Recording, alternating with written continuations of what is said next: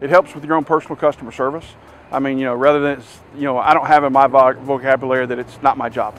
I mean, I work for the citizens of Tulsa. Everything's my job. I may not be my specialist in that area, but I'm going to find you somebody that can help you.